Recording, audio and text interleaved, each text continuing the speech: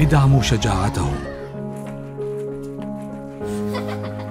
قدموا زكاة أموالكم من خلال الطرق التالية.